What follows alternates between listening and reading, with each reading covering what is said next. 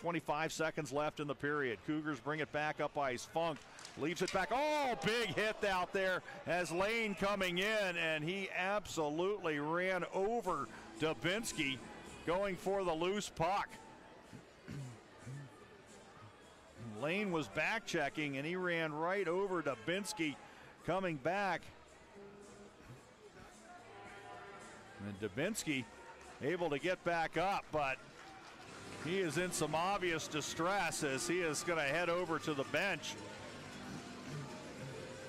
And Lane was back checking on the play.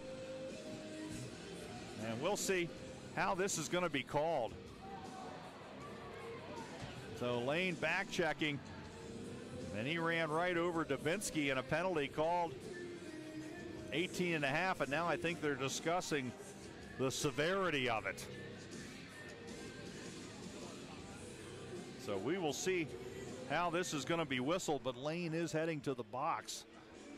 It'll be at 1942 of the second period.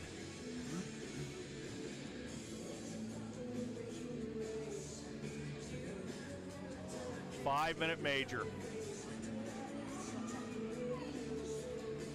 So it's going to be reviewed by the league, and Ryan Smith is going over to the referee, Kyle Kowalski. And I can see what Ryan Smith's saying that Lane's coming back on the back check. Dubinsky's coming from left to right across.